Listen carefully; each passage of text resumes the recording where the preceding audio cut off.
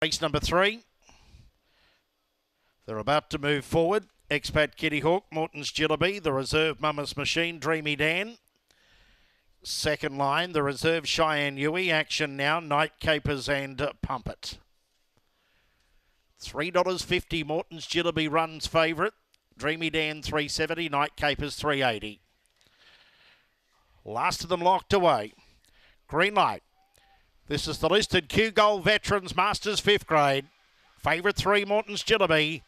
Off now, Morton's Jillaby missed it. Expat Kitty Hawk won the start. Here comes Night Capers down the outside together with Dreamy Dan. Out wider was Pump It, Mama's Machine. Back at the tail of the field as they run to the back was Cheyenne Yui. Down the back and getting the fly, Night Capers race four in front, Expat Kitty Hawk. Followed by Dreamy Dan, a break of five to Morton's Jillaby. Then came Mama's Machine action now. Pump It and Cheyenne Yui coming to the corner. Night Capers still three in front. Trying hard, Expat Kitty Hawk. But clear Night Capers and Night Capers wins the Veterans Q Gold. It's Night Capers defeating Expat Kitty Hawk, Dreamy Dan, followed then.